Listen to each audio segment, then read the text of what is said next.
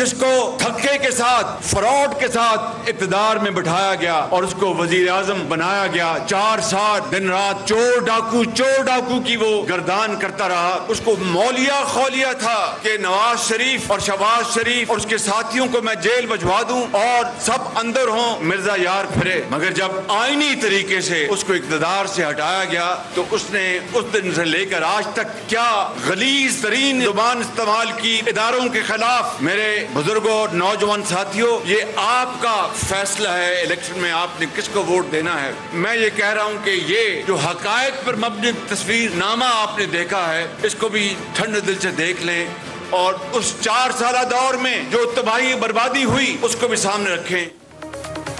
रहीम अस्सलाम आप देख रहे हैं मेरे सवाल और मैं हूँ मुनीफ फारूक। आज के सवाल ये हैं कि निगरान हुकूमत बस बनने ही वाली है। ये निगरान हुकूमत जब बनेगी, खास तौर पर वफाक के अंदर तो इसमें कितनी ट्रांसपेरेंसी होगी? मुलाकातें हो गई आसिफ जरदारी साहब की, जनाब शहबाज शरीफ साहब से। मौलाना फजल रहमान साहब को अतमाद में ले लिया गया, लेकिन उस जमात जिसको जिसके बारे में ये कहा जाता है कि वो है कि वो बहुत बड़ी जमात है, लेकिन इस वक्त उसका कोई सर पैर नहीं है, और वो है तहरीक इंसाफ क्या कोई अनऑफिशियली उससे भी मुशावरत करेगा कि इंतबात आने वाले हैं, निगरान हुकूमत बनने वाली है। लिहाजा आपका भी कोई ओपिनियन हो तो ज़रूर बताइए। मेरा नहीं ख्याल ऐसा होगा, लेकिन इसका असर क्या पड़ेगा? उस निगरान हुकूमत पर जो कि बनने जा रही है और उन इंतबात के ऊपर जो कि 2023 में होने जा रहे हैं। ताजुब की बात यह है कि ये तमाम बड़ी जमातें अब इस बात पर ज़ोर दे रही हैं कि इंतबात में कोई डिले नहीं होना चाहिए, कोई ताखीर नहीं होनी चाहिए। अगर सब कुछ ही स्टिच्ड अप है या हर एक चीज़ बाय डिज़ाइन चल रही है तो फिर घबराहट किस बात की है? दो अहम मामला ऐसे थे जिनके ऊपर इस हफ़्ते के प्रोग्राम्स के अंदर हमने गौर किया, और वो ये कि क्या इनका फैसला इंतबात 2023 से पहले होगा या आगे चलकर होगा? एक ये कि मियाँ नवाज़ शरीफ वापस आएँगे और उनका एक्विटल कैसे होगा? दूसरा ये कि इमरान खान, जो कि तहरीक इंसाफ के चेयरमैन हैं, सबक वजी अजम हैं कासिम के अब्बा हैं, उनका सियासी मुस्तबिल कब डिसाइड होगा? इंतबात दो हज़ार तेईस से पहले क्या ये मामला आगे चलेगा? और क्या पाकिस्तान तहरीक इंसाफ बहसीत एक जमात किसी जगह मौजूद होगी या नहीं? सियासी जमातों का मौकफ आप पिछले दो प्रोग्राम्स में देख चुके। अब बारी है आज के प्रोग्राम में हमारे मुल्क के मुमताज़ तजिया नगारों की और सहाफ़ियों की कि वो अपना ओपिनियन बताएँ, उनके नज़र जा रहा है। मेरे साथ आज प्रोग्राम में मौजूद हैं जनाब मुजीबरहमान शामी साहब, मेरे उस्ताद हैं, बहुत शफकत फरमाते हैं और पाकिस्तान की सियासी तारीख उससे बखूबी वाकिफ़ हैं और आज कल जो हो रहा है मैं उनके सामने रखूँगा। बहुत शुक्रिया जनाब शामी साहब, आपने वक्त दिया। जनाब मुर्तज़ा सोलंगी साहब मुल्क के मुमताज़ सहाफ़ी हैं, पाकिस्तान की सियासी तारीख जानते हैं और हम उनसे भी जानने की कोशिश करेंगे कि वो क्या देख रहे हैं। गरीदा फ़ारूकी साहबा मुल्क की मुमताज़ सहाफ़ी हैं, अपना प्राइम टाइम शो करती हैं और मुल्क के सियासी हालात के ऊपर गहरी नज़र रखे हुए हैं। बहुत शुक्रिया गरीदा, आपने भी हमें वक्त दिया। शामी साहब, सबसे पहले सर, आपसे सर, आपसे आगाज़ करना चाहूँगा। अब इस वक्त जो चीज़ हमारे सामने है, वो ये कि प्राइम मिनिस्टर ने अनाउंस कर दिया निगरान हुकूमत आने वाली है। ये बड़ी जमातें जो कि इस वक्त पीडीएम का हिस्सा हैं या इस हकूमती अकट का हिस्सा है, वो आपस में बात कर रहे हैं। दूसरी तरफ़ राजा रियाज साहब हैं, जो कि शायद नाराज़ भी हो जाएँगे हमसे, लेकिन जब मैं उनका स्टेटस देखता हूँ बैसीत एक लीडर ऑफ़ द अपोजिशन तो मुझे बड़ा ही कॉम्प्रोमाइजिंग किस्म का स्टेटस नज़र आता है कि एक तरफ़ वो टिकट के ख्वाह होंगे मुस्लिम लीग नून के, दूसरी तरफ़ वो वजी अजम से मुशावरत कर रहे होंगे कि निगरान वजी अजम कौन होगा। तो लगभग हर चीज़ स्टिच्ड अप है, जैसे दो में इमरान खान साहब के लिए की गई थी। तो क्या आज के हालात ऐसे हैं, जिनसे हम ये सेफली कह सकते हैं कि इंतबात के नतज भी हमें तकरीबन पता होंगे कि क्या होंगे और तहरीक इंसाफ बहसीत एक जमात शायद नज़र ही ना आए दो हज़ार तेईस के इंतबात में। मुनीब साहब, बहुत शुक्रिया। आपके सवाल तो बड़े दिलचस्प हैं, लेकिन उनका जवाब आसान नहीं है। देखिए, आज शहबाज शरीफ साहब ने गवर्नर हाउस में जो तकरीर की है, उससे तो लगता है उन्होंने अपनी इंतबी मुहिम का आगाज़ कर दिया है। और उन्होंने बार बार नवाज़ शरीफ साहब का भी तस्करा किया और इंतखब के हवाले से ये भी कहा कि जो चॉइस है वो नवाज़ शरीफ के दरमियान और उनके मुखालफों के दरमियान होगी। तो इससे मालूम होता है कि नवाज़ शरीफ साहब भी इंतबात से पहले वापस आएँगे। अब चेयरमैन पीटीआई के साथ क्या होगा? कोशिश तो ये है कि उनके ख़िलाफ़ कोई कानूनी कार्रवाई मुकम्मल हो गए, हो जाए। लेकिन वो उसको टालते चले जा रहे हैं और टालते चले जा रहे हैं। कोई मामला आगे चल नहीं रहा और आगे बढ़ नहीं रहा। अब ये एक देखते हैं कि इसमें इस आँख मचोली में कौन कामयाब होता है और चेयरमैन साहब जो हैं उनके खिलाफ कोई फैसला कन कार्रवाई होती है या नहीं हो पाती। लेकिन हमारा उनकी मुश्किल अपनी जगह मौजूद हैं। जहाँ तक पीटीआई का ताल्लुक है बहसीत जमात। उसके खिलाफ तो कोई कार्रवाई अभी देखने में नहीं आ रही। तो लगता ही है कि पीटीआई जो है बहसीत जमात तो इंतबी अमल में मौजूद रहेगी। कोई ऐसी, कोई ऐसा इकदाम नहीं है, या कोई ऐसा अशारा नहीं है, या कोई ऐसा फैसला नहीं है कि जिससे हम कहें कि पीटीआई जो है, उसको इंतबी अमल में हिस्सा लेने से रोक दिया जाएगा। तो बहरहाल मुस्लिम लीग नून ने तो ऐलान कर दिया है कि वो हर सीट पर आ, अपना आदमी खड़ा करेगी अपना उम्मीदवार खड़ा करेगी। और राना सनल्ला तो कह रहे हैं कि हम कोई सीट एडजस्टमेंट भी नहीं करेंगे। लेकिन ये तो अभी बातें हैं बात के मामला बात के साथ होंगे।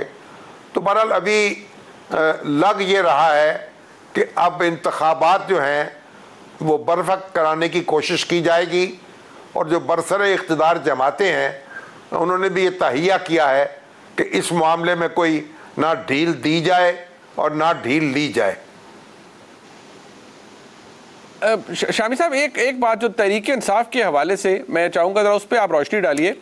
कि ये तासुर भी ज़ोर पकड़ रहा है कि ठीक है जी वोटर मौजूद होगा सपोर्टर भी मौजूद हो लेकिन अब, अब बहुत बड़ी तादाद में इवन सपोर्टर जो है या इवन बहुत से लोग जो कि टिकट होल्डर मुमकिन तौर पर हो सकते हैं बहुत से लोगों ने तो छोड़ दी जमात भाग गए और ऐसे हालात पैदा हो गए। लेकिन ऐसे हालात भी होंगे कि क्योंकि पार्टी है ही अंडरग्राउंड मेजर या माइनर लीडरशिप भी अंडरग्राउंड है तो शायद जमात को कैंडिडेट ही ना मिले दो हज़ार तेईस के इलेक्शन में खड़े करने के लिए।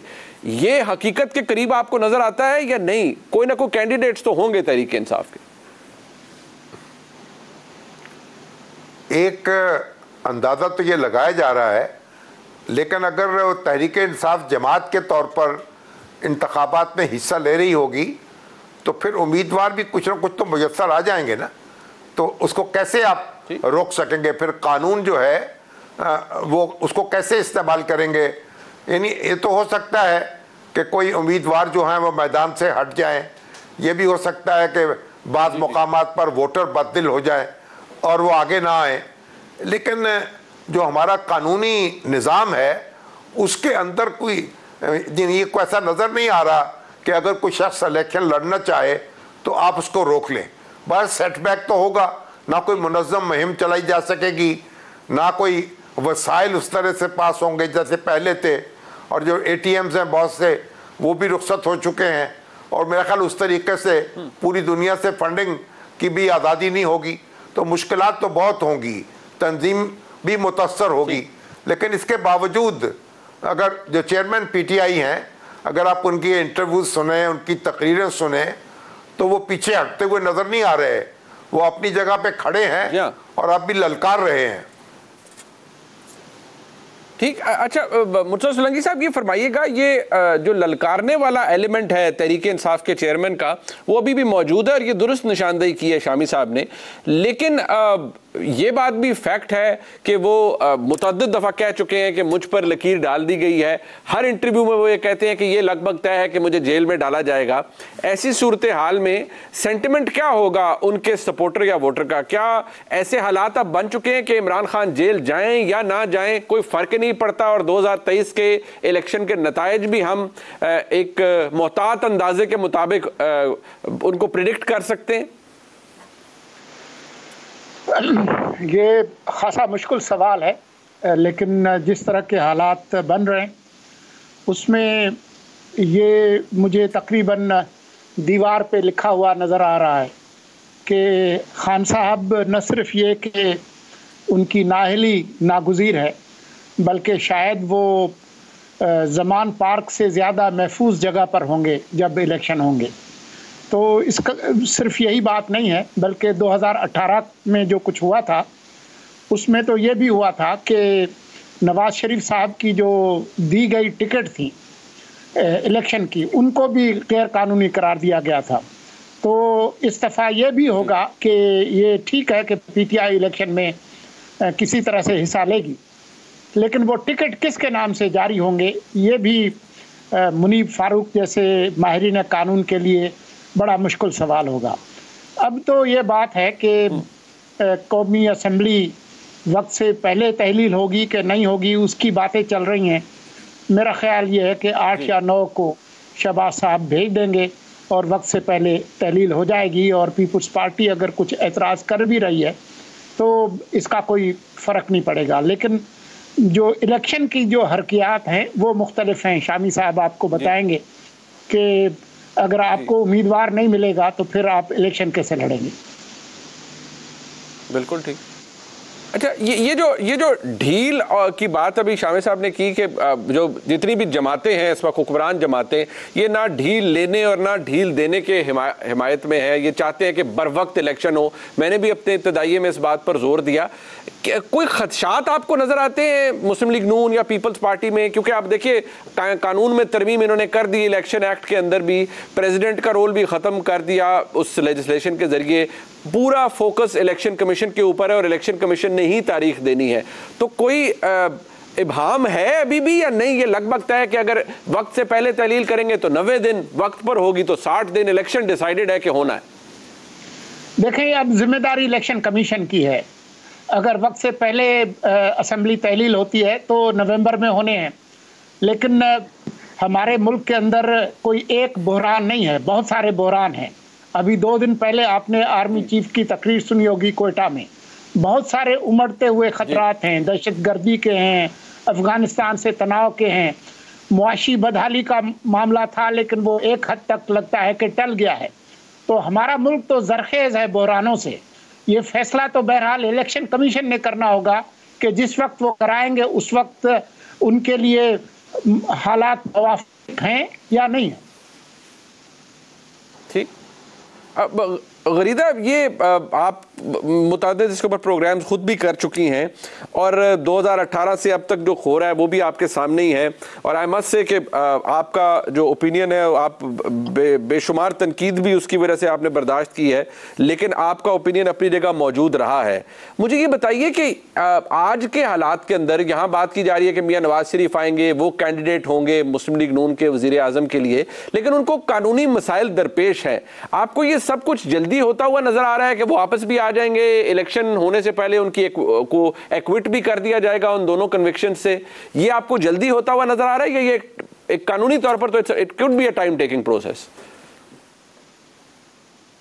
बहुत शुक्रिया मुनीफ फारूक साहब और इट्स प्लेयर इस ऑनर मेरे लिए इज़्ज़त अफजाई की बात है कि आपके प्रोग्राम में आज मैं हाजिर हुई हूँ और मेरे जो इस हैं, सहाफ़त में, जिनसे हम सीखते रहे हैं, जिनसे हम सुन के, समझ के सीखते रहे हैं, सहाफ़त को अब भी सीख रहे हैं, आइंदा भी सीखते रहे हैं, वो मेरे साथ मौजूद है और इन दोनों के साथ जो गुफ्तु कर रहे ये एजाज की बाइस है। अब जो सवाल आपका है मुनीफ फारूक साहब, आप बहुत बेहतरीन, ना सिर्फ़ कानून के माहिर हैं, बल्कि सहाफ़त के तो आप माहिरीन में से एक हैं, चोटी के लोगों में से एक हैं। आप मुझसे कहीं बेहतर जानते हैं और आपके सवाल में ही आपके सवाल का जवाब भी पिन्हा है। ये टाइम टेकिंग ज़रूर है। सो जितनी मेरी रीडिंग है नवाज़ शरीफ के हवाले से, जो आपका सवाल था कि क्या इतनी जल्दी उनका एक्विटल हो जाएगा, क्या इतनी जल्दी उनकी नाअहली ख़त्म हो जाएगी, ना अहली के हवाले से कानून तो बना दिया।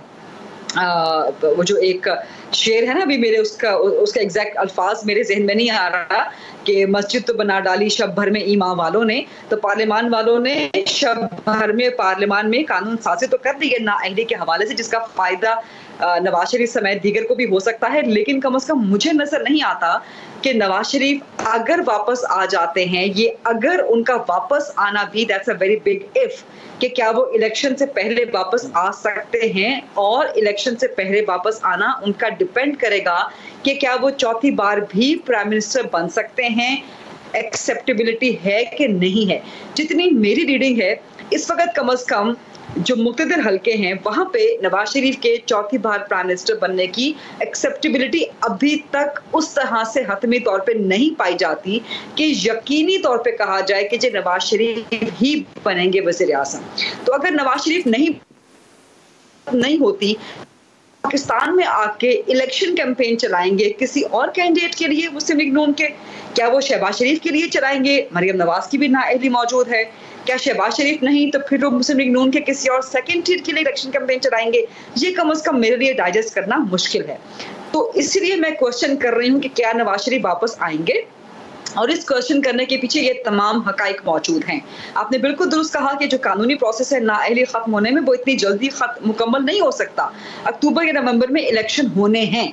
और इलेक्शन पहले ही मुतनाज़ होने की सामत में चल पड़े हैं। आपने खुद कहा कि पाकिस्तान में एक बड़ी सियासी जमात है इसका एक सियासी वजूद मौजूद है। अब ये इंतहाई रिडिकुलस है और मैं हर जगह पे कहती हूँ मैं अपने प्रोग्राम में भी कहती हूँ मैं बाकी जहाँ पर भी जाती हूँ यही कहती हूँ कि इंतहाई रिडिकुलस है ये इंतहाई गलत पाबंदी है पैमरा के मातहत कि जी आपने पाकिस्तान तरीके इंसाफ के सबरा का नाम नहीं लेना आपने अपने इंट्रोडक्शन में कासिम के अब्बा कह के उनको मुखातिब किया। ये क्या तमाशा? है आप किस तरह से किसी भी शख्स का बुनियादी जो हक है कि कम से कम उसका नाम उसकी सियासी शनाख्त आप उससे किस तरह महरूम कर सकते हैं? और क्या आप नाम ना लेने से मीडिया पे नाम नहीं लेंगे? मीडिया पे तस्वीर नहीं दिखाएँगे? कथा कलामी होगी। मियाँ नवाज़ शरीफ के ऊपर भी आपको याद है हम सब पर यह पाबंदी थी और उस वक्त तावील ये थी कि क्योंकि वो कन्विक्टेड हैं सजा याफ्ता हैं तो उनका नाम इसलिए नहीं लिया जाएगा। लेकिन इमरान खान के हवाले से इल्ज़ाम बहुत सख्त हैं कशीदा मामला हैं लेकिन उनकी कन्विक्शन अभी तक किसी भी मुकदमे के अंदर नहीं हुई। कन्विक्शन और नो कन्विक्शन आपको याद है मुनी फारूक साहब, आपने भी उस वक्त यही बात की थी, आप भी यही दलील लेते थे, क्योंकि आप माहिर कानून हैं आप सहाफत को भी बहुत अच्छा समझते हैं, हम लोगों ने भी यही दलील ली थी। और यही दलील लेके हम समय चंद सहाफी इस्लामाबाद हाईकोर्ट में भी गए थे कि जी, पाबंदी खत्म होनी चाहिए। किसी एक शख्स के खिलाफ, किसी एक शख्स के हक में हम नहीं गए थे। लेकिन उस वक्त के वजी अजम पाकिस्तान तरीके इंसाफ के सबरा इमरान खान, उन्होंने टेलीविज़न पे जलसों में तकारीब में नाम ले लेके हम सहाफियों के, हमें लिफाफे कहा था, हमें गद्दार कहा था कि जी, एक शख्स के लिए चले गए हैं। आज खुद उसी पाबंदी का शिकार है और हम उन पर लगाई गई, इमरान खान पर लगाई गई पाबंदी को हटाने का मुतालबा कर रहे हैं। अब मुझे एक और सवाल का जवाब दीजिए। इलेक्शन होता है अनाउंस हो जाता है। इलेक्शन कैंपेन को कवर करने के लिए इलेक्शन की कवरेज के लिए मुनीर फारूक साहब आप भी जाएँगे। शामी साहब भी गुफ्तु करेंगे सोलंकी साहब भी गुफ्तु करेंगे मैं खुद फ़ील्ड में जाऊँगी। तो मुझे ये बताएँ कि पाकिस्तान तरीके इंसाफ के अगर किसी बंदे को हम टेलीविज़न में अपने टॉक शोज़ में नहीं बुला सकते तो क्या हम जब हल्के में जाएँगे क्या हम वहाँ पर पाकिस्तान तरीके इंसाफ के किसी कैंडिडेट से इंटरव्यू भी नहीं कर सकेंगे?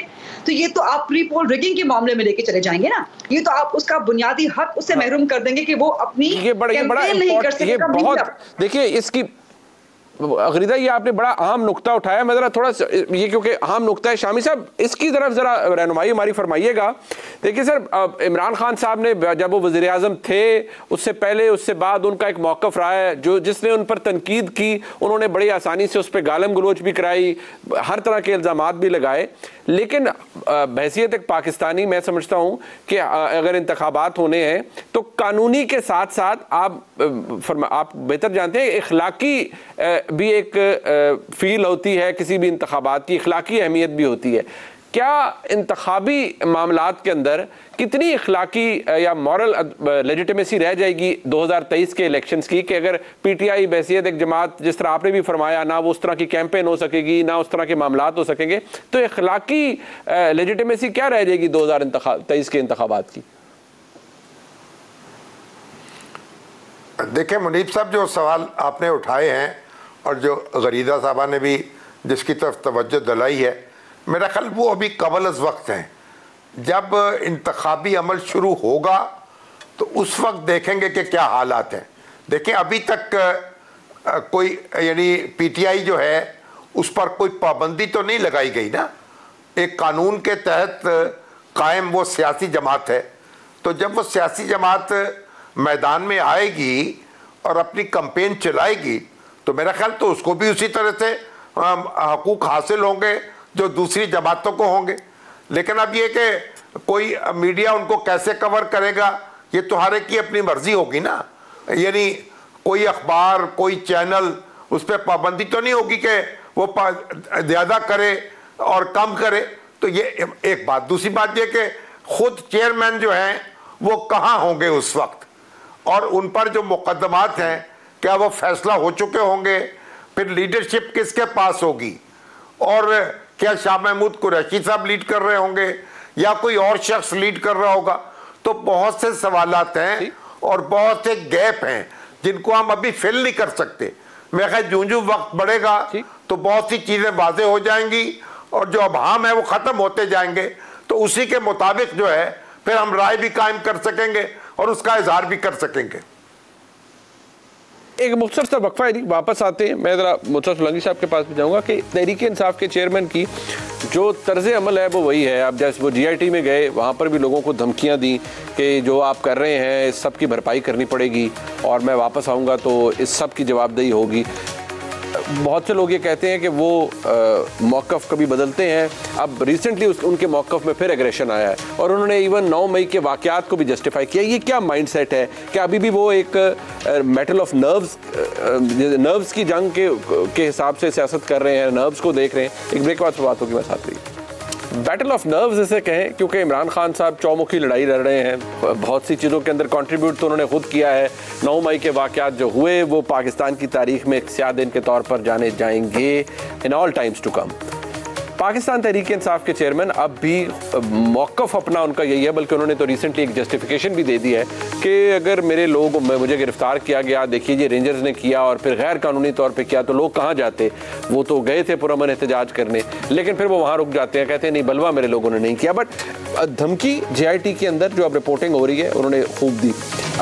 मुर्तजा सोलंकी साहब, ये क्या माइंडसेट हो सकता है, हो सकता है, इमरान खान साहब का? वो अभी भी इंटरव्यूज़ में भी कहते हैं रिसेंटली भी इंटरव्यू उन्होंने जो दिया है, उसमें भी उन्होंने कहा है कि मेरी जो अप्रूवल रेटिंग है पूरे मुल्क में वो सत्तर फ़ीसद है।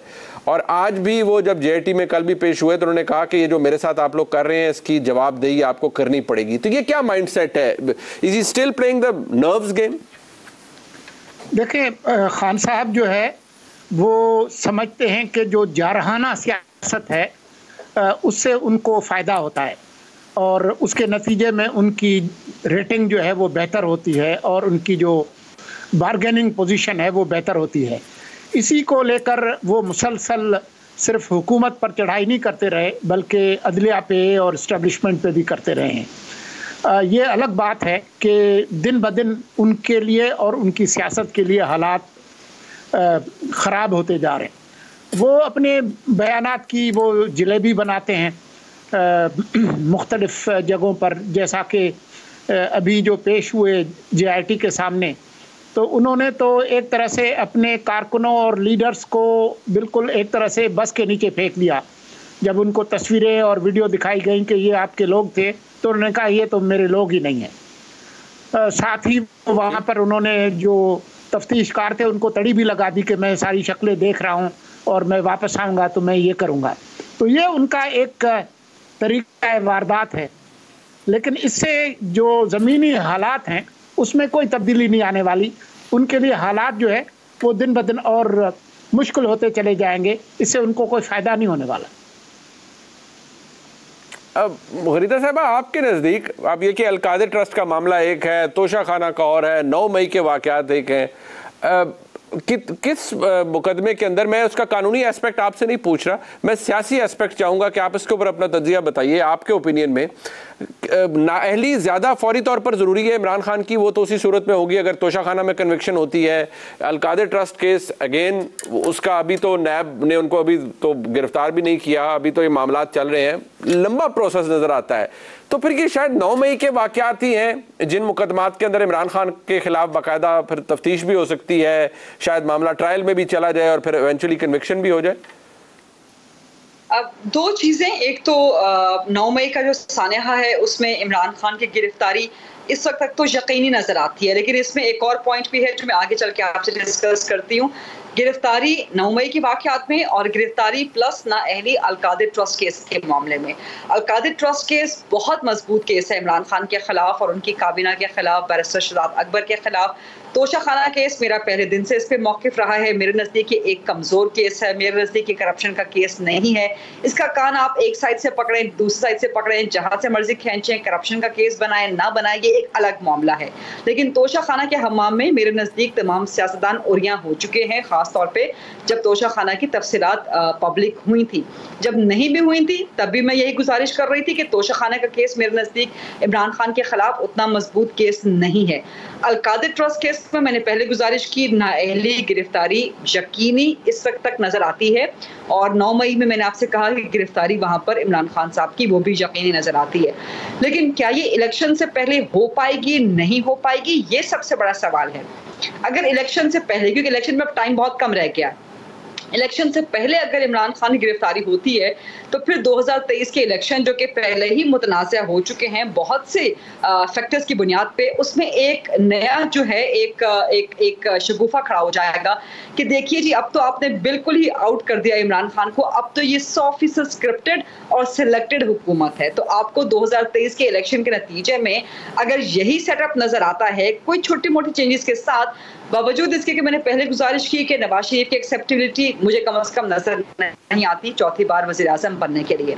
शहबाज शरीफ स्ट्रॉन्ग कंटेंडर हो सकते हैं फेवरेट कंटेंडर्स भी हैं। इस वक्त मुख्त हल्कों में बिलावल भुट्टो, क्या डार्क हॉर्स साबित हो सकते हैं? मामला बहुत जगहों पर चल भी रहे हैं। बेहतर बेहतर हो भी सकते हैं। तो मेरा ख्याल है कि बिलावल भुट्टो या शहबाज शरीफ के दरमियान दौड़ होगी कि अगला वजी अजम कौन बनता है। हो सकता है कोई तीसरा नाम भी आ सके।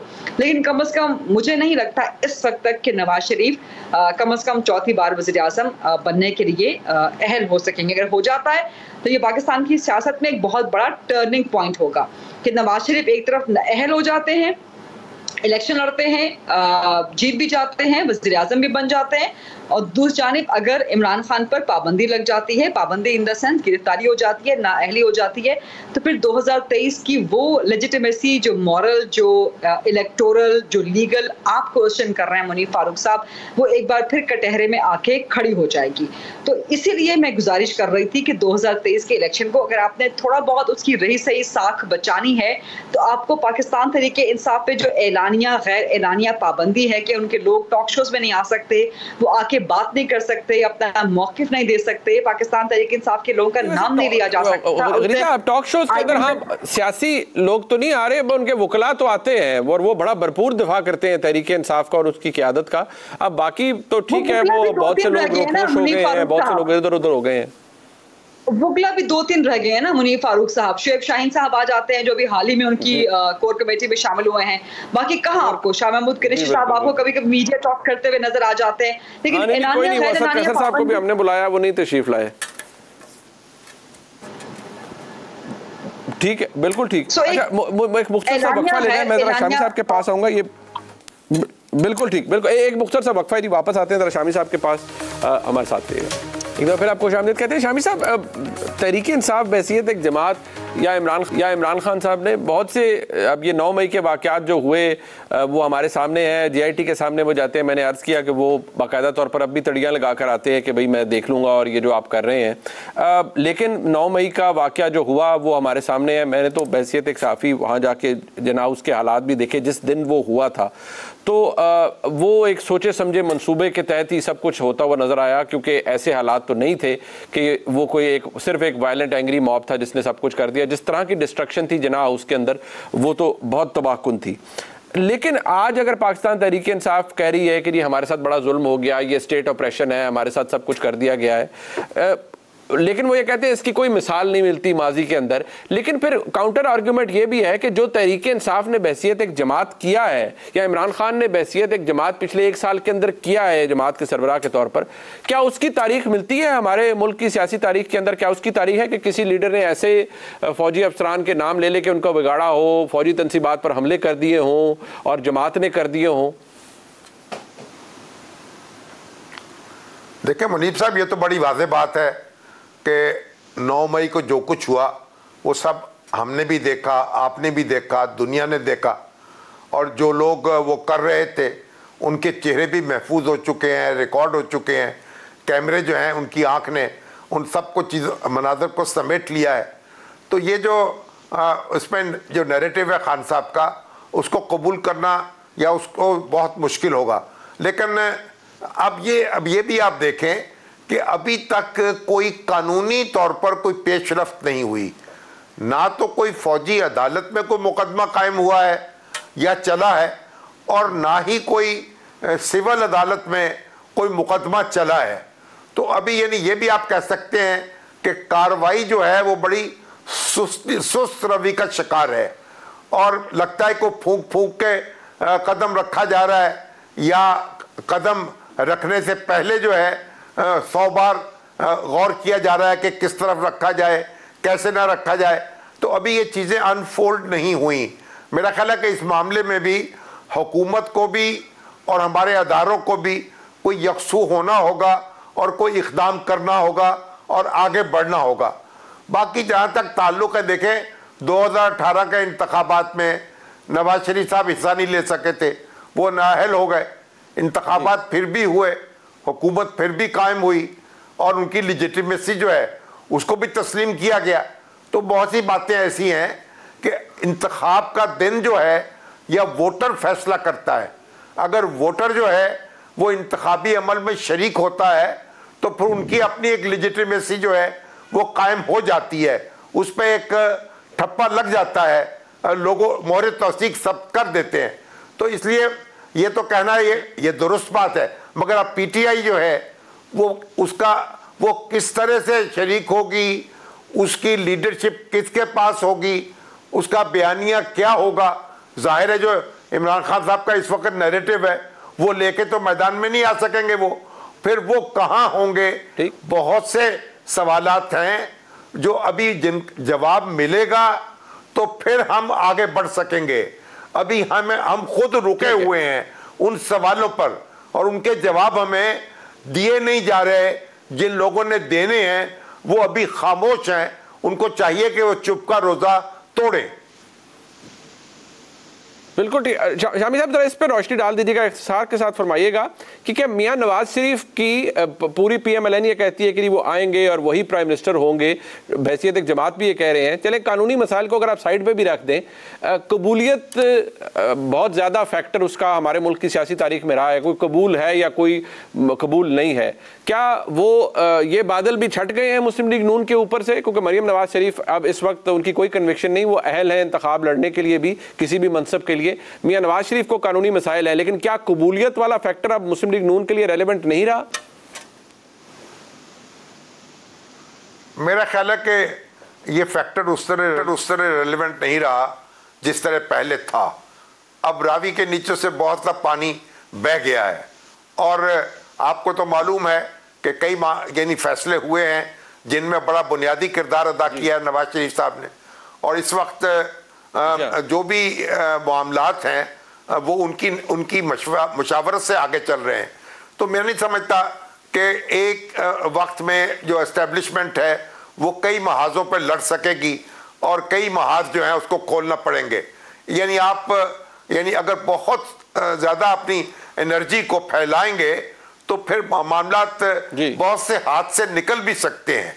तो हदफ जो है वो वाजे रहना चाहिए और अगर अहदाफ ज़्यादा आपने बन, यानी बनाने की कोशिश की तो फिर मुश्किल में इजाफा हो सकता है।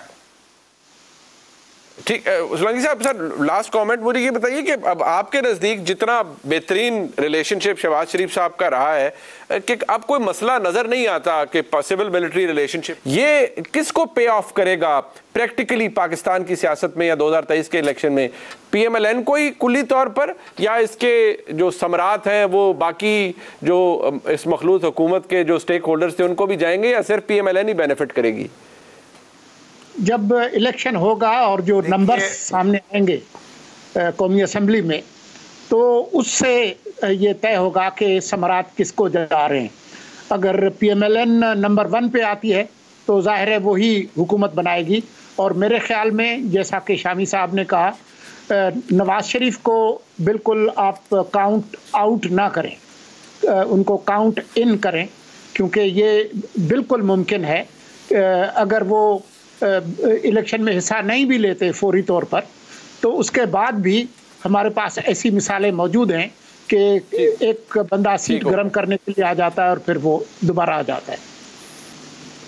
बिल्कुल ठीक बिल्कुल ठीक। बहुत शुक्रिया बहुत शुक्रिया जनाब मुजीब साहब का जनाब मुर्तजा सुलंगी साहब का और गरीदा फारूकी साहबा का। प्रोग्राम आपने देखा जी इसका फीडबैक ज़रूर दीजिएगा। देखने का बहुत शुक्रिया खुदा हाफिज़।